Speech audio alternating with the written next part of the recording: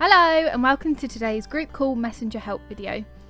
We'll be showing you how to create and send a form via messenger.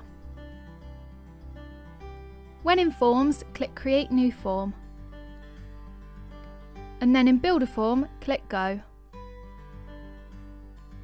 Then you'll need to give your form a name. And here you can choose where to send your form to.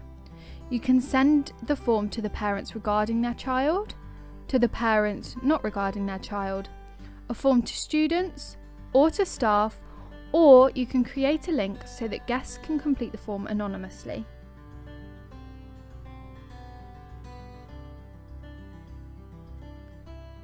Now you can begin to build your form by adding components. As you can see, there's lots of different components to choose from. You can refer to the Forms Help Guide for information on all the components. The link will be in the description below.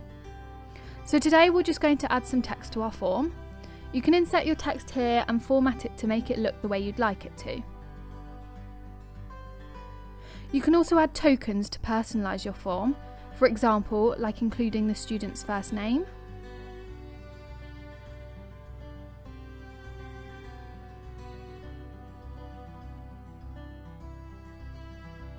Now we'll add another component.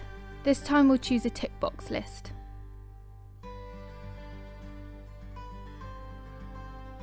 So you can enter the question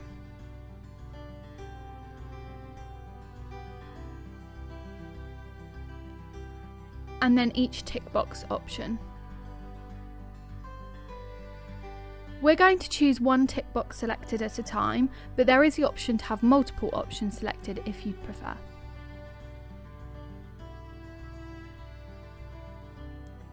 So once you've got all your different components, you can drag and drop them to reorder them.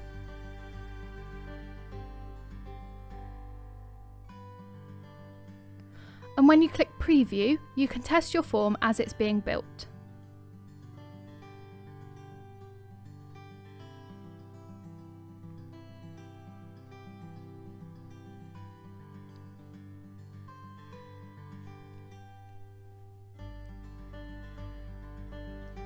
Once the form is good to go, you can click Create Form. After that, you can select the due date for the form and a reminder date if you wish.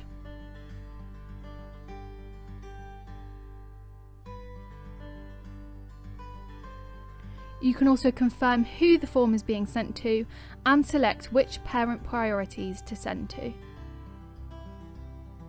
You can select or search for a recipient.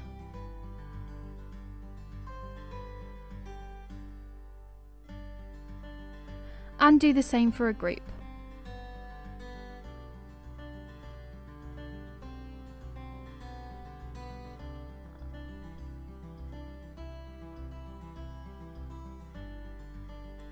You've also got the option to preview your form in a browser or via email before you send.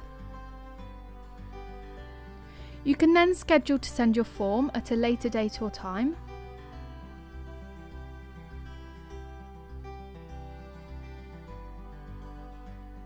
Or you can send it straight away. You'll then be taken to the results page where you can watch your responses come in.